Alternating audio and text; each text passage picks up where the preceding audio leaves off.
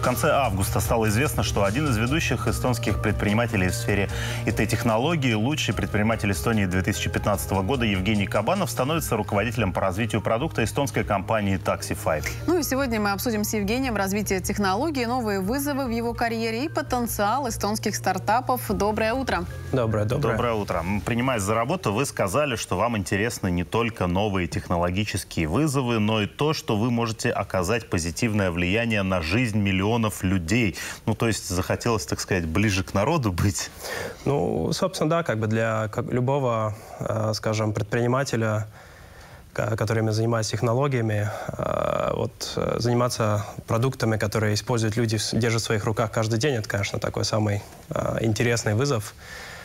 Именно потому, что ну, я могу я, я могу напрямую влиять на такое большое количество людей и напрямую создавать для них какую-то ценность. И, и для, для меня это как бы близко к сердцу, да. А что является вашими прямыми обязанностями, вот если говорить об этой работе?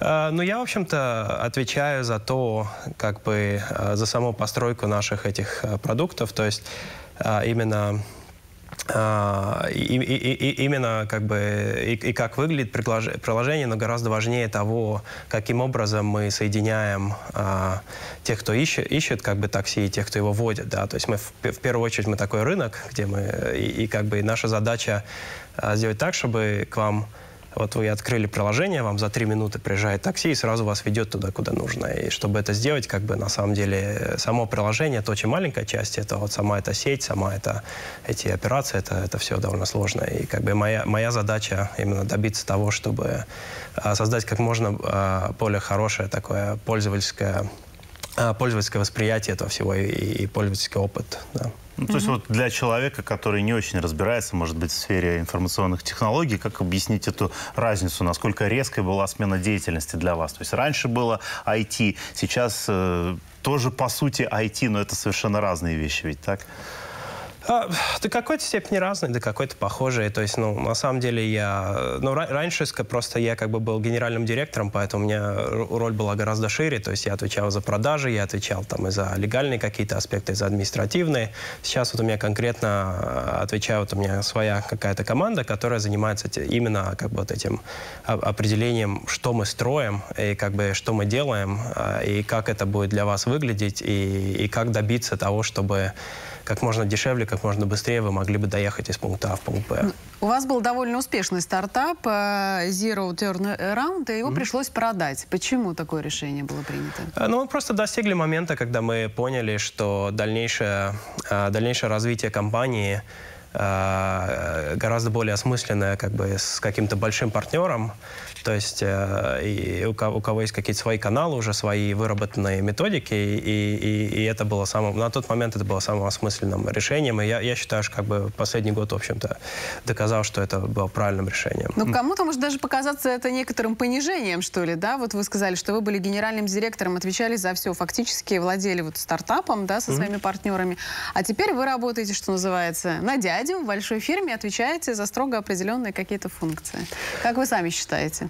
Э, Я сам как бы, когда на это смотрел, то я, я бы сказал так, что я решил, что в данном случае как бы дядя Taxify э, настолько классное предприятие, настолько быстро растет, настолько технологически развитое, что работать на них будет интереснее, чем что-либо, чтобы, скорее, скорее всего, чем что-то, чтобы я мог сейчас сам сделать. И поэтому это было чисто такое решение, что я реально сравниваю, вот я мог сейчас сам начать новую компанию, я мог бы пойти работать на Taxify, а я считаю, что сейчас как бы вообще в Эстонии Taxify это самое интересное место, и по, по очень разным факторам, и как бы и по, и по тому, по влиянию, которое там можно оказать, найти на десятки миллионов, и, наверное, когда-нибудь и сотни миллионов пользователей, и в том числе как бы и технологически там очень-очень интересно. Но вообще рынок таксоизвоза и каршеринга становится все более насыщенным. Насколько много остается еще пространства для маневра, чтобы предлагать клиентам новые решения, может быть, даже принципиально новые, и опережать за счет этого конкурентов?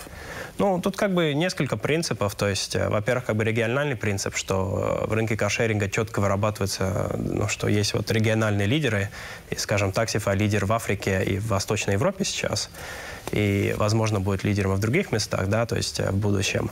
А, и уже и, и рынок, ну, одна, одна из вещей, которую стоит понять, то, что сейчас с новыми технологиями, это сначала, сначала были как мобильные телефоны, но это и, и электрические машины, и электрические там разные другие вещи, и в том числе и в какой-то момент как бы самоездящие машины, да, то есть самоуправляемые.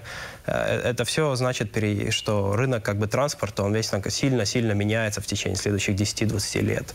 И поэтому как бы и этот рынок, он громадный, да, то есть это э, вся, весь во всем мире как бы триллионы долларов как бы вот этого всего рынка, они все...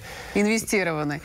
Ну, да. а, а получается, что в ближайшем будущем мы можем ожидать такси, которое будет э, само нас возить без водителя по нужному адресу? Ну, я не знаю, насколько ближайшее будущее это будет, но э, Google начал э, тесты э, в Аризоне. Да, то есть я думаю, уже что... были даже известны какие-то несчастные случаи, да. вот э, самоуправляемыми автомобилями. Ну, были, как бы, да, это во время тестов. То есть, mm-hmm. ну, это скорее, как бы, такая, ну, то есть, э, длительная перспектива, что на которую как бы интересно смотреть. Но думаю, для нас это еще не актуально еще достаточно долго. Вот, и это, опять же, это все регион по региону, и у нас свои особенности, как бы, и в Африке еще свои особенности, да, то есть, и я думаю, что в первую очередь это все-таки сейчас в ближайшие, там, не знаю, 5-10 лет актуально для США, где это начнется. Вы неоднократно выступали на различных бизнес-конференциях, ну, можно сказать, по всему миру и своей историей успеха вдохновляли тех, кто только решил заняться чем-то подобным в этой сфере. Может быть, у вас уже сейчас в голове зреют идеи каких-то новых стартапов. Дайте, может, какой-то простой совет тем, кто хочет себя попробовать, но не решается. А, начните с чего-нибудь маленького, а, проверьте, попробуйте, как бы, ну, то есть у многих людей есть идея, и они с ней как бы ничего не делают. На самом деле с любой идеей можно всегда начать что-то делать. Можно говорить с людьми, а, можно собрать какой-нибудь маленький как этот тест, то есть где люди отвечают на вопросы, да, то есть опросник. Можно, можно начать как бы попытаться хотя бы друзьям и так далее что-то какие-то продать как услугу. То есть, ну, надо, надо думать, как, это, как из этого сделать самый-самый маленький вот возможный эксперимент, который можно сделать с небольшой затратой сил, времени и, и стараться это сделать. Это как бы такой самый... Э, Самое простое. А много у вас таких мыслей витает в голове вот сейчас? Несмотря на то, что э. вы работаете, как Лена сказала, на дядю. Ну, есть мысли, да. То есть я, я на самом деле как бы, э, ну, просто за счет того, что у меня свой опыт создания стартапа, я сейчас даже больше смотрю как не на идеи, а как на рынки. То есть вот я опять же думаю, вот какие рынки в следующие там 5-10 лет будут сильно переделаны. Ну, откройте, откройте грибные места. Ну да, может, не знаю. То есть, ну, ну, ну, то есть э, все-таки самые такие интересные фирмы создаются там, где вот идет большая переделка рынков. Да? То есть и, и я думаю, что ну, сейчас э, рынки, которые точно, ну, транспорт сейчас громадный рынок, который переделывается. Да? То есть э, образование, я думаю, сильно будет переделываться там. Скажем, медицина все-таки у нас достаточно еще не технологичная. Да? То есть как бы еще много есть таких мест, где где можно что-то Где не ступала делать. нога айтишника, Политика, политика вас не интересует? Вы знаете, вот э, не, нет, не интересует меня политика. Я как бы в свое время э, был в университете, э, в, по-моему, на нашем факультете каком-то совете, и с тех пор мне, и это был первый и последний раз, когда я куда-то как бы там выбирался. Вот, и я думаю, что, опять же, как бы, я не знаю, за будущее не отвечаю, но в ближайшие там, в ближайшем будущем меня политика не интересует ну, совершенно. В таком случае пожелаем просто успехов в делах. Евгений Кабанов был у нас в гостях. Спасибо, Спасибо большое. вам.